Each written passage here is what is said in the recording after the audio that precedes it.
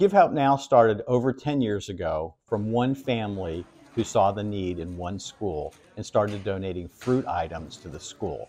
Started with 10, quickly went to 100. Then it morphed into a life group that started making peanut butter jelly sandwiches each week, taking 100 of them each week to the school. So now we're almost at 600 sacks per week going to the four schools in Sherman ISD. We do Dillingham, Neblett, and also Jefferson and uh, Sherman High School. A year ago at this time, we were only doing about 400. So now we're doing almost 200 more, close to 600 per week. So the need is really great. Um, and we we see more and more each week that are needing um, the food for the weekends. Today was a record. 580 is what we did today.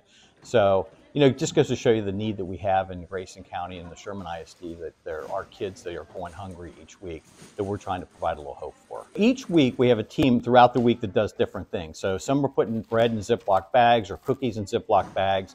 Then it all comes together on Thursday morning where we have a team that comes in and puts all of the items that we've collected for that week, either we bought or been donated uh, into brown bags that go into totes, and those totes are then taken to the school. And then on Friday, at the end of the day, the staff at the schools pass out to those kids that are in need. It's amazing to me that it's not just the staff at the schools that have a positive influence from this, but the other kids that know these kids need food. And some of those letters do come from those kids of how my cousin, my friend, they got the food sack on the weekend and that's all they had to eat for that weekend.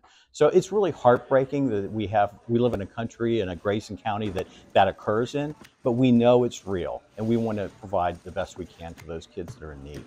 When you read those letters? Oh, I, I want to cry every time. So it's it's just amazing. Um, last year, I think we got 400 letters from the schools, which was just overwhelming. Um, and the staff really sees it too. You know, the staff has really had a hard time the last couple years with all that's gone on, and um, the staff really sees the need, uh, and it impacts them too. So we're providing hope.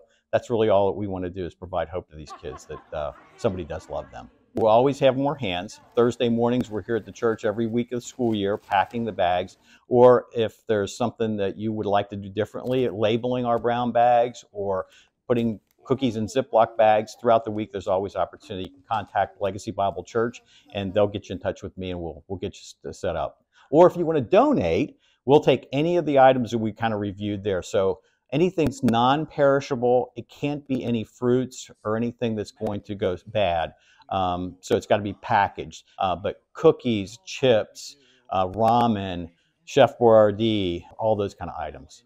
I would just say, let your heart be, guide you. These are school kids that are going home each weekend not knowing if they're going to have enough food to eat. So um, it really is a service that, that really provides those kids hope.